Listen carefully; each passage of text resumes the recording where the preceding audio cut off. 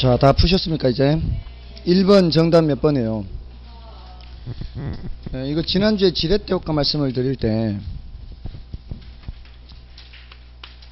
이 차입 이자율,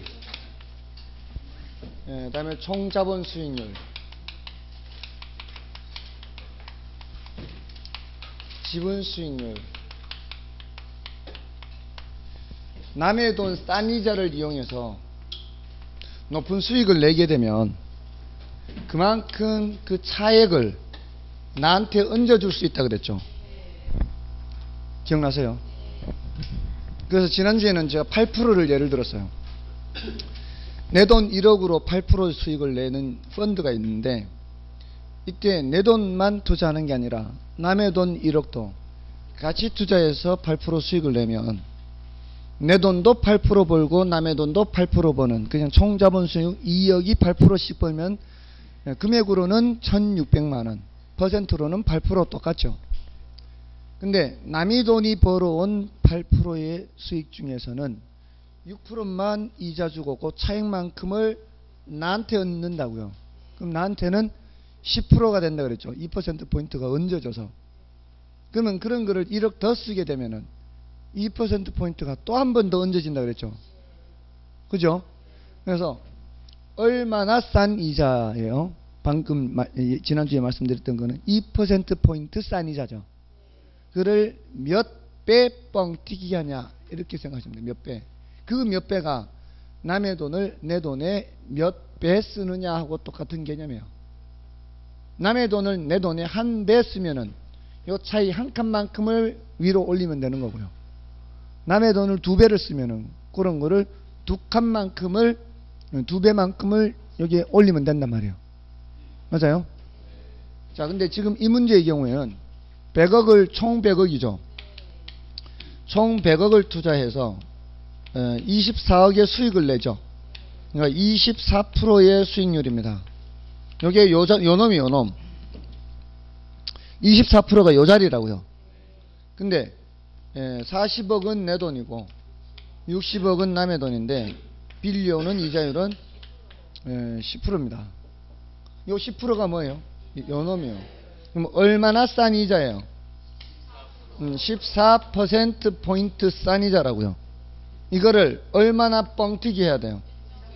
1.5배란 말이에요. 남의 돈은 내 돈의 1.5배란 말이에요. 1.5배 뻥튀기 하면은 21% 포인트가 뻥튀기 되는 거죠. 여기에서 여기서 여기서 21% 포인트 여기 24%니까 10%고 여기에서 21% 포인트 뻥튀기 하는 이게 바로 지뢰 효과의 크기라고요. 여기서는 이걸 묻고 있죠. 예, 지분 수익률을 물었으면은 45%라고 대답을 해야 되는 거죠. 됐어요? 음, 그렇게 풀면 되고 이게 싫은 사람은 어떻게 풀라고요? 예, 이내 돈 투자한 40억 분의 전체 수익 24억에서 이자를 빼야 되죠. 예, 6억 이자를 빼면은 40억 분의 18억 나와서 이거는 0.45 45% 나오죠. 예, 그리고 요거 나오면 요거 하고 빼서 21%포인트 계산해도 돼요. 됐습니까? 예, 안 되면 제끼면 되고요. 안 되면 제끼는 거 무조건. 예, 안 되는 걸 굳이 어렵게 예, 생각하지 마시고요. 내가 할 수 있는 부분이 있고 할 수 없는 부분이 있으면 예, 약간은 더 애를 쓸 수는 있어요. 약간, 약간 아, 요 정도면은 조금만 하면 되겠다라는 느낌이 오는 게 있어요. 그런 경우에는 연습을 하고요. 예, 근데 어우 좀 도대체 도저히 이해 안 된다 이러면은 예, 바로 제끼고 그래서 그런 분들은 계산 문제에서 한 두 문제만 맞춘다 생각하시면 돼요. 예, 아무리 어렵다 해도요 쉬운 문제가 둘 정도는 반드시 나옵니다. 예, 그 정도만 풀어도요 이론에서 예, 굉장히 부담이 덜합니다. 예, 그래서 이론에서 조금 더 예, 챙긴다 생각하시고요. 계산에 자신이 있으신 분들은 한 서너 개 정도 맞출 수 있거든요. 그러면은 예, 다른 데서 더 여유가 있게 되겠습니다. 예, 아무리 계산에 자신이 있어도 여섯 일곱 문제를 다 푼다 생각하시면 곤란합니다. 예, 어떤 함정이 나올지 몰라요. 지금까지 출제된 유형들을 보면은 한 해 한 문제 정도는 정말 새로운 유형이어서 기존에 없던 유형이어서 푸는 사람, 이 가르치는 사람들도 1분 이상 걸리는 경우도 있어요. 그런 경우는 예, 가르치는 사람이 1분 이상 걸리면은 여러분들은 거의 손을 못 댄다라고 봐야 돼요. 예, 그래서 그런 것들이 있을 수 있으니까 예, 봐서 이게 뭔 소린가 모르겠으면 바로 패스를 하도록 해야 돼요. 예. 다음에 2번은 예, 정답이 예, 4번이죠. 예, 이게 차입자는 고정 이자율로 대출하기를 선호하는 거죠. 예, 대출자가 변동 이자율을 선호하고요. 다음에 3번의 문제는 예, 2번입니다. 2번 틀렸죠. 예, 어떻게 해야 돼요? 그러면 안 된다고요. 음. 그러면 안 돼요. 예, 무위험률이 뭐예요? 무위험률이 위험이 없는 상태에서의 수익률이죠. 얘는 위험하고 아무 관계가 없다는 얘기예요. 체계적 위험과도 관계없고 비체계적 관계, 위험과도 관계없고 위험과 관계가 없는 거예요. 아시겠어요? 그래서 예전에 그 가르치는 강사들이 그렇게 해설을 많이 했어요. 옛날 강사들이.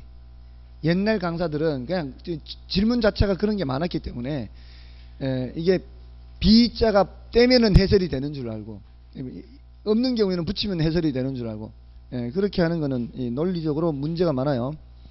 그래서 어, 2번은 위험과 아무 관계가 없습니다. 아시겠죠? 무위험률은 위험과 아무 관계 없습니다. 다음에 4번은 4번이 정답이 4번이 3번이죠. 4번. 3번 정답. 1번은 위험한 투자를 제외하는 방법이고요. 2번은 2번이 뭐예요? 2번은 위험 증가죠. 2번 위험 증가고 3번은 맞고요. 4번은 이거 좀 어렵다 그랬죠. 표현이 위험 조정 할인율, 위험 조정률을 할인율로 상- 사용한다 그랬잖아요.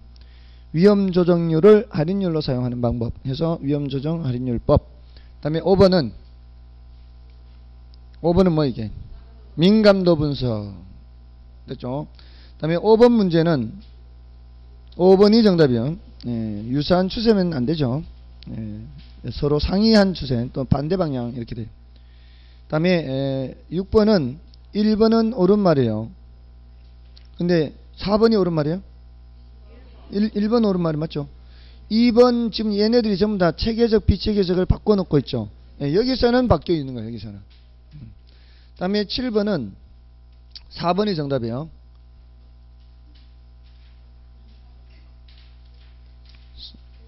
5번이 정답이에요?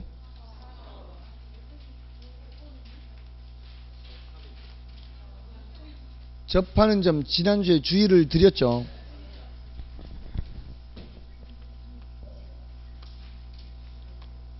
이 접하는 점하고요.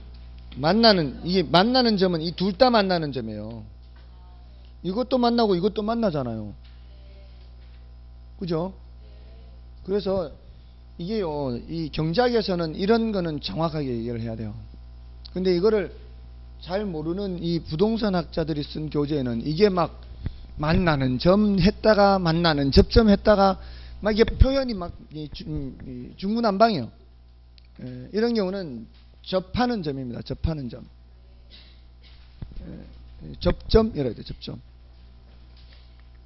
예, 만나는 건 저것도 만나고 이것도 만나는 거예요. 아시겠어요? 예, 그래서 접점이라고 해야 돼. 접점. 에, 다음에 에, 3번은 8번은 음, 3번인가요? 3년 후에 1억 하면 이렇게 1억을 어디다 쓰는 거요? 요 3년 후에도 1억을 써야 되죠. 그리고 불입 금액을 묻고 있잖아요, 지금. 이것만 잘 그리면은 다 이거는 틀릴 수가 없어요. 이거 그리는 게 안 되나요, 잘? 그리면 되잖아요. 3년 후에 1억 이렇게.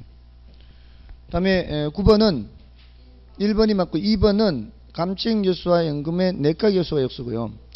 다음에 매기 일정한 금액을 불입하여 달성되는 기간 말에 원리금 합계액을 구하고자 했잖아요. 그러면 구하고자 이걸 구하고자 하는 거 아니에요? 이렇게 이렇게 넣어서 불입해서 이렇게 얼마인지는 모르지만 이렇게 해서 이거를 구하고자 하는 거잖아요. 그럼 이걸 알려줄 거란 얘기잖아요.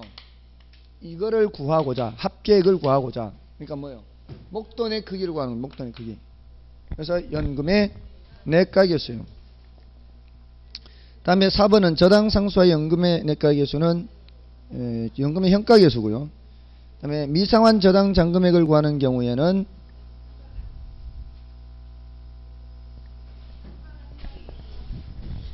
잔금 비율은 전체 기간의 연금 현가계수분의 남은 기간에 연금 현가계수 혹시 안 했나 이거? 이 잔금 비율을 알면 잔금액을 구할 수 있잖아요. 그죠? 뭐를 알아야 돼요? 연금 현가 계수죠. 됐나요? 이건 원리금 균등 상환의 경우죠. 원금 균등 상환의 경우는 잔금 비율 공식이 필요 없다 그랬죠. 원리금 균등 상환의 경우에만 잔금 비율 공식이 필요합니다. 아셨죠? 근데 음, 요거는 이제 여러분들은 굳이 신경 쓰실 필요는 없는데 예, 이게 음, 가르치는 사람만 알고 있으면 돼요. 혹시 이제 출제 오류가 되는 경우에만 예, 파악을 하면 돼요. 저당 상수라 해서 틀린 거는 아니에요. 저당 상수라고 방금 누가 말씀하셨잖아요. 저당 상수라고 했는 말이 틀린 말은 아닌데 이게 정확한 말로 기억하시라고요. 왜냐하면은 연금의 현가계수와 저당 상수는 역수관계 있죠. 그래서 이거는 전체 기간에 저당 상수 나누기 남은 기간에 저당 상수 해도 돼요. 역수니까. 음. 그러니까 저당 상수라 해서 틀린 건 아니라고요. 틀린 건 아닌데 이걸 가지고 이제 보통 얘기하니까 아시겠어요? 예, 그리고 또 더 복잡한 식으로 가면은 일시불 내가계수, 일시불 현가계수를 이용해서도 할 수 있어요. 식을 변형시키면 안 되는 거는 연금 내가계수밖에 없어요. 감채임계수하고 연금 내가계수 어, 감채 요거밖에 없어요. 그래서 에, 사실은 여러분들은 몰라도 되고요. 일단 기본 공식은 에, 이게 저당 잔금은 연금 현가 계수를 이용해서 쉽게 계산할 수 있다. 아시겠죠? 예, 어떤 문제는 모의고사 같은 게 보면 일부러 이제 어려운 문제를 내려고 일부러 이걸 막 바꿔서 하는 그런 문제도 있기는 한데 예, 뭐 거기까지는 갈 필요는 없어요. 자, 이 정도면 되겠고요. 다음에 예, 10번은 예, 5번이 틀렸죠. 예, 항상 우리 이론적으로 얘기할 때는 순영업 소득에서 세전 현금 수준이 내려갈 때 예, 부채 서비스를 빼야 됩니다. 원금 이자 합계를 빼야 돼요. 원리금 이렇게.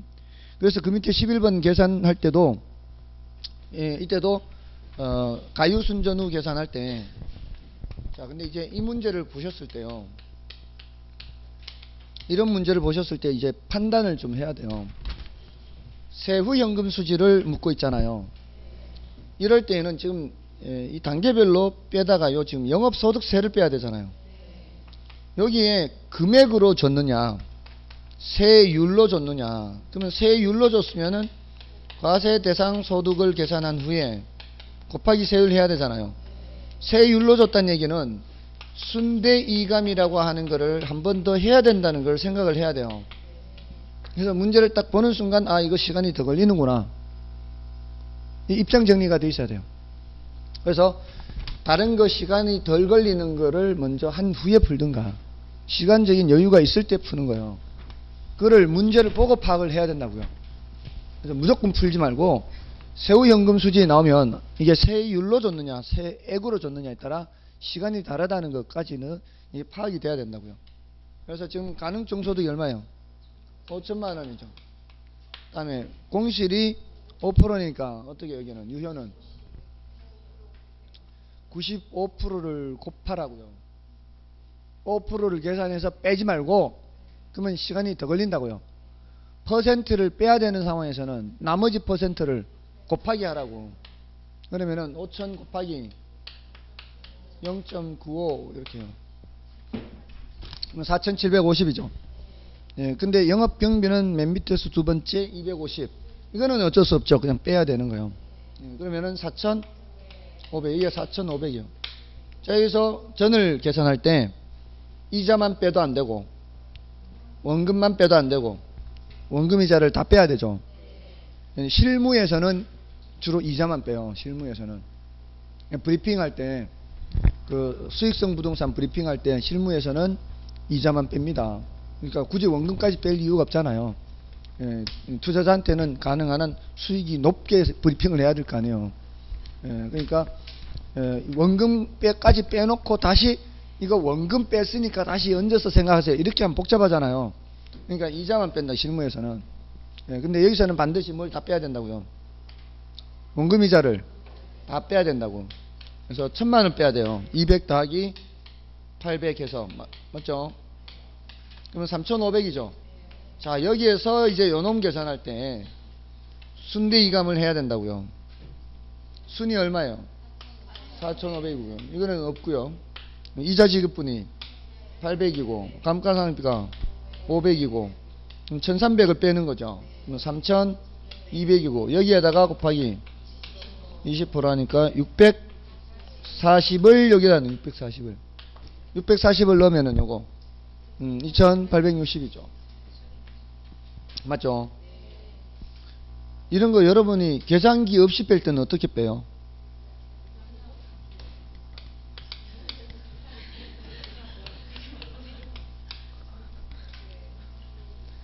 먼저 500을 빼는 방법이 있어요. 먼저 양쪽에 다 500씩 빼요.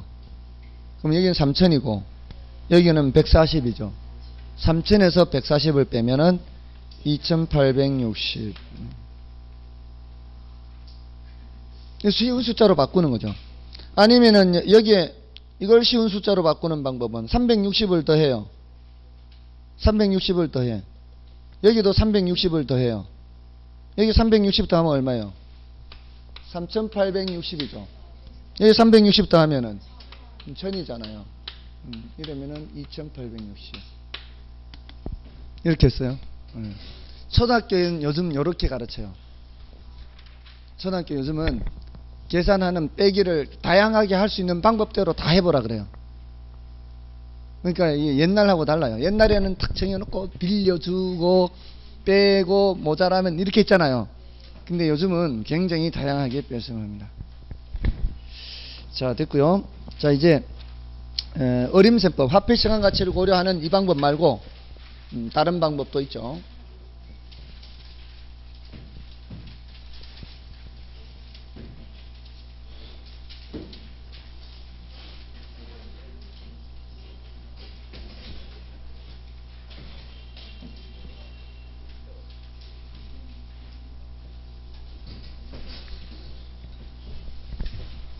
자 이제 어림셈법입니다. 어, 어림셈법은 이제 화폐 시간 가치를 고려하지 않는 방법이죠. 에, 근데 이제 이거를 하려면 가유순전후를 알아야 돼요. 왜냐하면 자 보세요. 생각을 해보세요. 여러분들이 투자를 할지 말지 의사결정을 하려면 그 어, 특히 이제 수익성 부동산의 경우에는 얼마만큼 수익이 발생하는지를 알아야 되지 않습니까? 그 수익을 예를 들어 한 달에 500이 나온대요. 한 달에 500. 그냥 그 경비 같은 거 생각하지 않고 월 임대료 그냥 받는 것만 에, 에, 한 달에 500이다. 그럼 1년이면 6천이다. 이렇게 나오잖아요. 아, 그러면은 야, 괜찮다 하고 투자해요. 500이다. 한 달에 500이면 괜찮네. 투자해요. 예, 얼마인지 물어보지도 않고 저 저 저저 투자 투자 어, 얼마 그 얼마 얼마의 에, 매물로 나와 있는지 알아보지도 않고 그건 무조건 계약해요. 그렇지 않잖아요. 항상 우리가 소득이라는 걸 생각할 때는 그만큼을 얻기 위해 얼마가 투자되는지를 늘 봐야 되지 않나요? 그죠?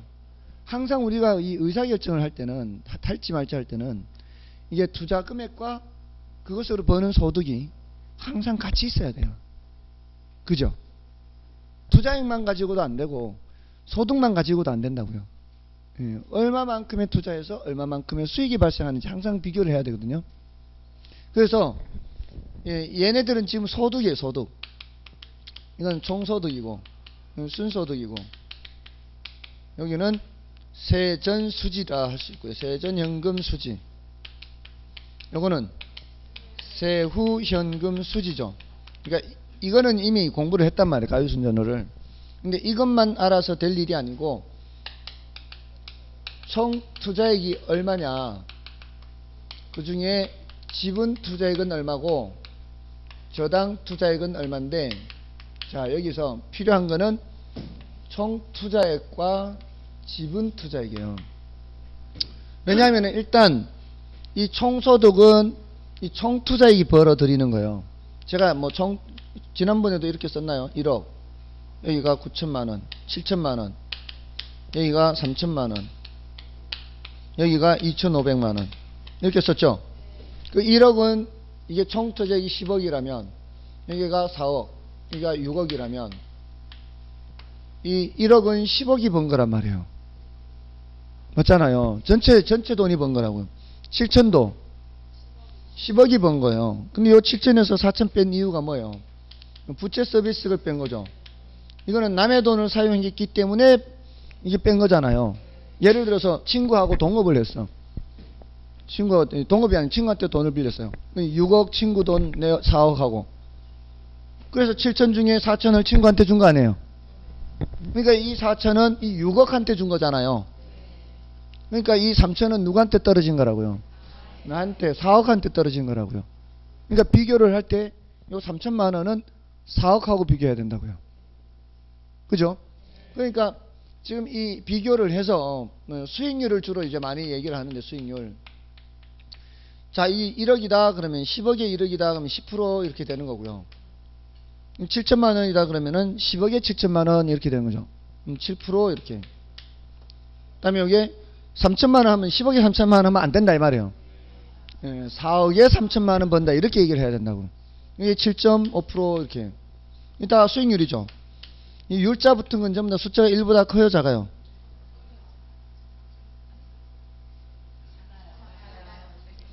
이거 1보다 크다 그러면 곤란하죠.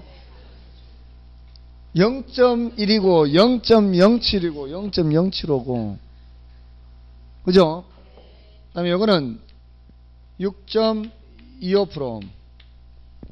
자, 이렇게. 자, 이렇게 수익률이라고 하는 게 나오는데 각각 지금 숫자가 다르잖아요. 이거를 같은 수익률이라고 하면 안 되잖아요. 이제 전체적으로는 수익률이라고 할 수 있는데 이름이 다를 거 아니냐고. 이름을 달리 불러야 될 거 아니냐고요. 그, 어, 맨 위에 얘를 총, 자산, 회전율이라는 이름을 붙인다고요. 이 이름에. 여기 이름에다가는 종합 환원율이라는 이름을 붙인다고요.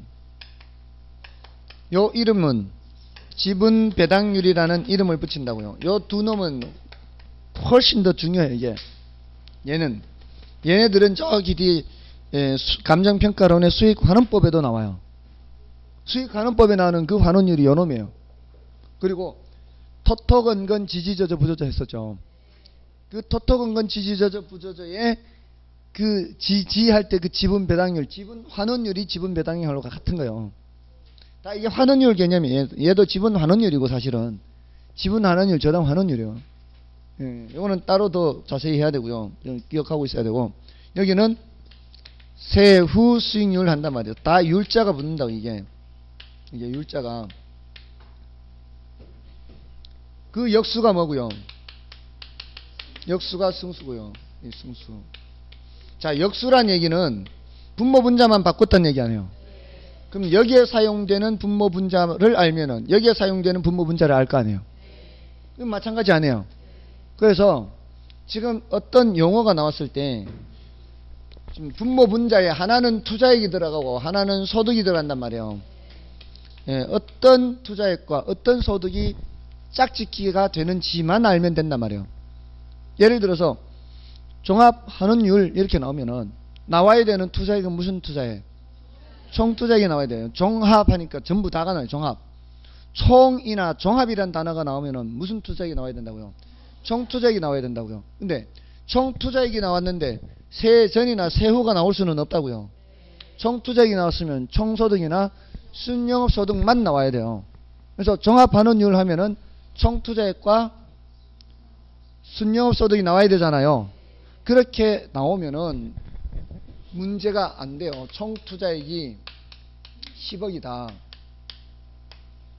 순영업소득이 1억이다 이렇게 뺐잖아요. 뺐으면은 분모분자는 생각을 안 해도 된다고. 왜냐하면 그래 봤자 지가 10분의 1 아니면 1분의 10일 거 아니에요. 그러면은 이렇게 했을 때 이게 율로 나오겠어요? 이게 율로 나오겠어요? 율이라는 숫자는 다 1보다 작은 퍼센트로 나오는데 이렇게 한번 해보고 이렇게 한번 해보면 될 거 아니에요. 맞잖아요. 그러니까 그거는 신경 안 써도 된다고. 분모 분자를 걱정하지 마시라고요. 재료가 뭔지를 뽑아내는 게 우선이라고요. 음, 지분 배당률 하면은 투자액이 무슨 투자액이 나와야 돼요? 지분 투자. 이게 투자액 생각하는 건 안 어려워요. 왜냐하면은 단어에서 벌써 느낌이 와요. 총이다, 종합이다 이런 단어가 나오는데 지분 투자액이 나올 수는 없다고요. 그리고 얘는 지분이란 단어가 나오잖아요. 그건 지분 투자액이요. 세후는 제일 밑에 있잖아요. 지분 투자액이 나와야 된다고요. 투자액 나오는 건 안 어렵다고요. 그러면 뭐만 주의하면 돼요. 소득이 어떤 소득이 나오는지만 보면 되잖아요. 그럼 소득이 총 투자액이 나왔을 때는 총소득 아니면 순소득 나오는 것밖에 없고 총소득이 나오면 총자산 회전율이 되는 거고 나머지는 종합환원율이고요. 그 다음에 지분 투자액에서 세후가 나오면은 세후 수익률이 되는 거고요. 세전이 나오면은 지분 배당률이. 근데 요 용어들이 이제 잘 생각이 안 나는 경우가 많으니까 따로 기억을 좀 하시라 이 말이에요. 그리고 여기에 역수는 총소득 승수고 이거는 별거 아니에요. 여기는 순소득 승수고 이렇게 그냥 그대로 간단 말이에요. 세전 수지 승수고 세후 수지 승수고 아, 그래도 참 속으로 굉장히 뿌듯합니다. 예, 지난 1월, 2월 달 생각하면은 참 많이 컸다 이런 생각이 들어요. 그때는 여기까지 하면은 다들 아마 쓰러져 가지고 이렇게까지도 못했어요 사실 이런 것까지도 못하고 그냥 이런 게 있어요 하고 썼다가 얼른 지웠어요 맞죠? 예, 많이 큰 거예요 많이 참 뿌듯합니다 정말. 이, 이 가르치는 사람은 이런 말수로 가르치는 거죠. 그지 않나요? 예. 여러분도 한번 하- 해보세요 나중에. 예. 자 어쨌든 이렇게 좀 외우시고요. 다음에 이제 요거 말고 어 요거 말고 어 회계적 수익률. 아까 이, 이런 단어가 나왔었어요. 회계적 수익률. 또 단순 회수기간 이런 말 나왔죠. 예, 단순 회수기간은 이제 화폐의 시간 가치를 고려하지 않고 그냥 더하기 하는 거예요 더하기 덧셈만 하는 거예요 덧셈만 예, 근데 저기 현가 회수 기간은 현가 회수 기간은 화폐 시간 가치를 고려하는 거잖아. 할인하는 거예요, 할인. 예, 그게 차이점이에요. 자, 이제 에, 에, 좀 교재에서 좀 확인을 좀 할게요. 예, 다시 이제 340 에, 이쪽인가요? 342쪽 기본서에 342쪽에 가시면은 그 48번의 2번 지문에 단순 회수기간법 하죠. 예, 이거는 화폐 시간 가치를 고려하지 않고 투자한 금액을 회수하는 데 걸리는 기간 맞죠? 예, 부채 감당률은 이제 비율 분석법이니까 좀 이따 가고요. 예, 다음에 어, 4번도 이제 봐주세요. 4번 부동산 투자자는 투자 성향이나 투자 목적에 따라 사당성 분석 기법에서 도출된 값에 대해 서로 다른 판단을 내릴 수 있다. 가능하죠, 얼마든지. 예, 옳은 말이고요. 다음에 그 49번 맨 밑에 보시면은 투자 회수 기간은 길수록 좋아요, 짧을수록 좋아요. 짧을수록 좋죠. 회수 기간이 이 승수 개념이 이 회수 기간 개념이에요. 그리고 이 수- 예, 순소득 승수를 다른 말로 자본 회수 기간이라 그래요. 그러니까 여기 지금 회수 기간이라는 단어가 많이 나오잖아요. 저기 현가 회수 기간, 자본 회수 기간, 단순 회수 기간. 그죠? 현가 회수 기간은 화폐 시간 가치 고려- 고려해요. 그러니까 쟤만 고려하는 거예요. 다른 거는 화폐 시간 가치를 고려 안 해요. 아셨죠? 얘하고 얘 차이는 뭔가 하면은 얘는 에, 1년치 순영업 소득 계산한 후에 두 번째, 세 번째 연도는 계산 안- 안 해요. 에, 이게 이제 에, 이걸 예를 들면 되- 되겠네. 51 페이, 51번 보세요. 51번 보시면은 다음에 주, 주어진 자료를 활용하여 예, 순소득 승수하고 가로수기 뭐라고 돼 있어요? 자본 회수 기간 요거 구하시오 돼 있죠? 자, 이거 찾아야 되는 투자액 무슨 투자액? 소득은 무슨 소득? 그러면 100억하고 10억 찾았죠? 그럼 한번 경우로 따져 보세요. 100분의 10 한번 해보고 10분의 100 한번 해보세요. 자, 100분의 10 하면은 0.1인데 그 밑에 있어요 없어요? 없잖아요. 그죠? 수익률은 투자액이 분모로 간단 말이에요. 그러니까 분모 분자를 걱정하지 마시라고. 나와야 되는 투자액과 소득만 제대로 골라내면은 분모 분자는 조금만 생각하면 된다고요. 그렇지 않나요? 투자액이 분모로 가야 유리 나올 거 아니에요. 자, 그러니까 쉽죠, 그런 거. 이런 거는 푸는 거예요, 많은 거예요. 이런 건 푸는 거예요. 그러니까 문제에서 딸랑 하나만 묻는 거는 푸는 거예요. 딸랑 하나만 묻는 거. 그죠? 자, 근데 보세요. 이 10의 의미가 뭔가 하면은 10. 지금 10 나왔잖아요. 이 10의 의미는 순영업 소득 10억이 매년 발생할 경우에 10년 걸린다는 뜻이에요. 자, 그러면 두 번째 년도, 세 번째 년도 계산했어요, 안 했어요? 안 하고 그냥 똑같다고 해버리는 거잖아요. 근데 이 자본 회, 단순 회수 기간은 첫 번째 거, 두 번째 거, 세 번째 거 다 계산해요. 지금 1억이 나가요. 첫해 2천만 원 들어와요. 둘째 3천만 원 들어와요. 셋째 4천만 원 들어와요. 넷째 4천만 원 들어와요. 다 계산한다고 이렇게.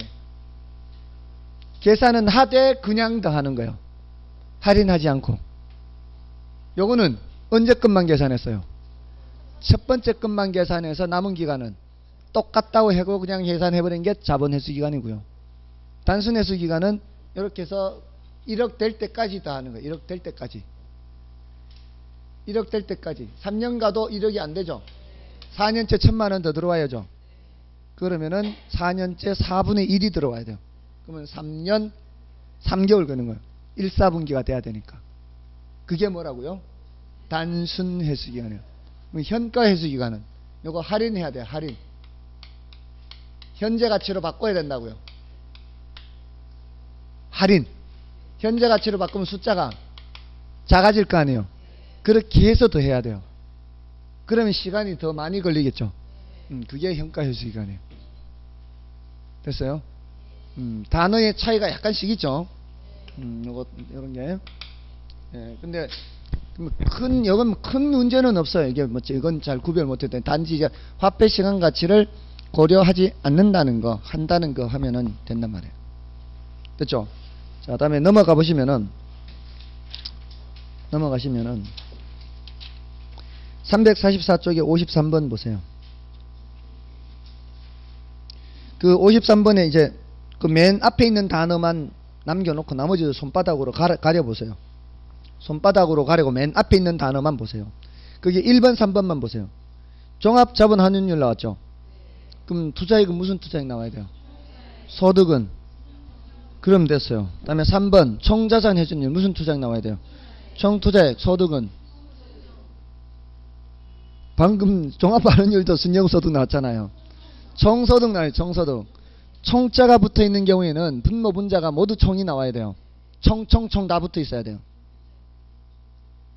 총은 다 총이 붙어 있어야 돼요. 총자산 회전율은. 지금 종합자본환원율이 총소득에서 순용업소득 나왔잖아요. 그러니까 예, 이 나머지 총자산 회전율은 총소득이 나와야 된다고요. 됐죠? 그 훈련만 하시라고. 됐죠? 예, 다음에 자 그러면은 그 넘어가시면은 그 58번 보세요. 58번 같은 거는 푸는 거예요, 많은 거예요.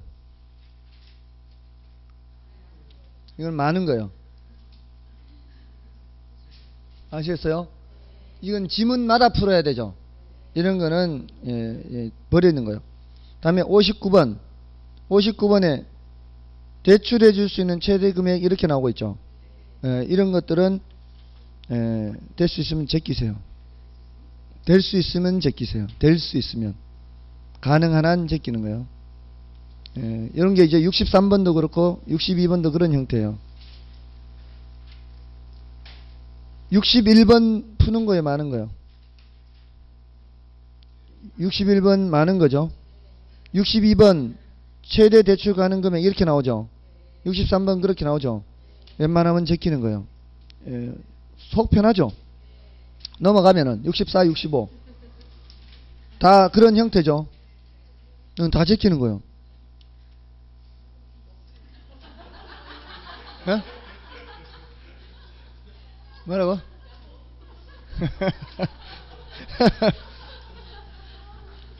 그러니까 아니 그냥 그냥 제끼지 말고 이게 뭐길래 제끼는지를 보고 제끼라고. 그래야 시험에 나왔을 때 보고 제끼는지 마는 건지를 알 거 아니에요. 아시겠어요? 최대 대출 가능 금액 이런 형태는 제끼는 거라고요. 네네. 근데 이제 나중에 한 번 더 기회가 예, 있을 수 있는데 지금 이, 이 계산 문제의 경우에는 어떤 유형인지를 알고 이건 푸는 문제, 버리는 문제를 보고 제껴야 될 거 아니에요. 그러면 제끼는 문제는 그만큼 제껴버리면 시간적인 여유가 있기 때문에 다른 데 집중할 수 있단 말이에요. 그런 그 연습을 하고 해야죠. 예, 그- 그건 예, 보고 판단해야지. 예, 어쨌든 음, 그런 형태고요. 다음에 346쪽에 56번 가보세요. 아, 이게 기출 문제 이게. 예, 근데 56번에 4번 지문 보세요. 예, 순, 그, 총투자 수익률 나와 있죠. 예, 그리고 순영업 소득을 총투자액으로 나눈 비율이다. 이렇게 돼 있죠. 순영업 소득을 총투자액으로 나눈 게 뭐죠? 종합환원율이죠. 예, 종합환원율입니다. 근데 지금 그 뭐라고 돼 있어요?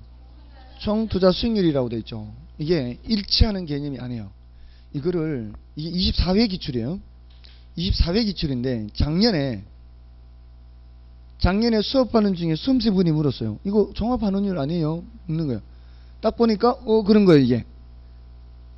근데 시험 치고 일주일 내에 발견을 해야 되는데 일주일 내에 발견 못한 거예요 이게. 일주일에 발견 못한 거예요. 지금 3번이 확실하게 틀렸어요. 4번은 뭔가 하면은 제가 우리 부동산 투자하게 되면은 항상 소득 이득과 자본 이득을 다 고려해야 되죠. 이걸 다 고려한 개념이 수익률, 이, 이, 이, 이 총 투자 수익률이거든요. 총 투자 수익률은 이걸 둘 다 더해서 계산하는 거예요. 우리 지렛대 효과 할 때 총 자본 수익률, 총 자본. 총자본 수익률이 이거란 말이에요. 총투자 수익률. 근데 요 소득 이득은 순영업 소득이죠. 순영업 소득만 따지면은 이게 바로 종합환원율이거든 이게. 얘하고 얘가 같은 경우는 어떤 경우만 같은 거예요. 이게 0일 때 0일 때 0일 때만 같은 거예요. 그래서 에, 그걸 이런 식으로 정의를 하면 안 되거든요. 정의를 얘기할 때는 정의를 얘기할 때는 그 에, 예외적인 경우까지 고려한 게 아니라 전부 다 포괄하는 개념으로 해야 돼요. 그죠? 정의를 얘기할 때는. 그래서 이거 틀린 지문이거든. 근데 이제 받아줄지 안 받아줄지는 이제 둘째 문제고. 왜냐면은 이제 너무 분명하게 틀린 게 있으니까 3번이. 이거는 예외적으로 같을 수도 있잖아요. 소득 이득, 자본 이득이 0일 때는 같을 수도 있으니까 안 받아줄 수는 있어요. 그런데 일단 걸고 넘어지기는 할 수 있는 지문이란 말이에요. 근데 그거를 너무 늦게 발견한 거지. 음, 한 6개월 지난 시점에 발견한 거예요. 그러니까 저도 이거 문제를 풀 때 너무 분명한 게 있으면 바로 그것만 보고 그냥 지나가 버리거든요. 대체로. 그러니까 시험을 보신 후에 예, 이거 이상 있지 않냐, 이거 이상 있지 않냐, 이걸 여러분들도 저한테 이렇게 주시면 제가 더 검토를 해보고 이 신청할 게 많아지는 거예요. 일주일 안에 해야 돼요. 지난번에 말씀드렸죠. 이 신청 기간이 지나면 할 수가 없다고요. 그래서 부동산 가격 공시제도 30일 이내에 이 신청해야 된다 그랬잖아요. 그 이 신청 기간 내에 하지 않으면은 게임 셋이요. 할 수가 없어요. 아셨죠? 그래서 시험 치고 나서 그런 거를 음, 이- 말씀을 해 주시라고. 됐죠? 자, 요 비율 분석법이 남아 있긴 한데 지금 어, 오늘 조금 이렇게 문제를 상당히 많이 이렇게 지금 체크를 해 봤잖아요. 근데 비교적 그렇게 어렵지 않잖아요. 이론은 어렵지 않아요. 이, 이, 이 예산도 어렵지 않죠. 제껴버리니까. 어렵지 않잖아요. 그러니까 에, 에, 에, 조금은 그래도 할만하겠구나라는 느낌이 드셨을 거예요. 이론적으로는. 그래서 조금 쉬고 비율 분석법을 할게요.